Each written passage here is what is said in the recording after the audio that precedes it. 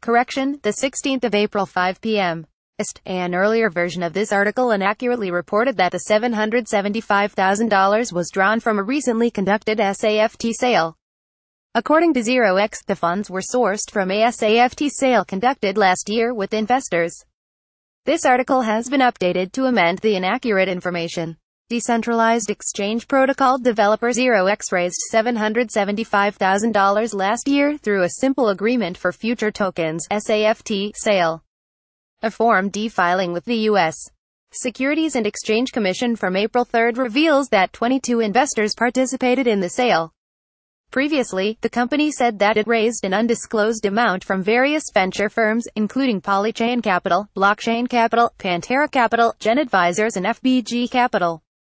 The filing represents the first time that the actual amount raised and the precise number of investors have been disclosed. The startup garnered $24 million in an initial coin offering ICO the company completed last August. At the time, 12,000 backers invested in the startup. ZeroX's over-the-counter platform is aimed at enabling the exchange of different ERC20 tokens across varying networks, as previously reported. The platform was first released for testing in May 2017. At the time, founder Will Warren said the startup would not provide a real-time public order book, instead focusing on the creation of open-source tools so that other startups could build their own decentralized exchanges.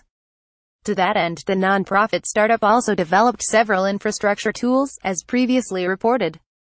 Warren told Coindesk that he believed the quickest path towards realizing our vision is by developing free tools that massively lower the barrier to entry for new for-profit exchanges and their respective markets. Data table image via Shutterstock the leader in blockchain news. Coindesk is a media outlet that strives for the highest journalistic standards and abides by a strict set of editorial policies.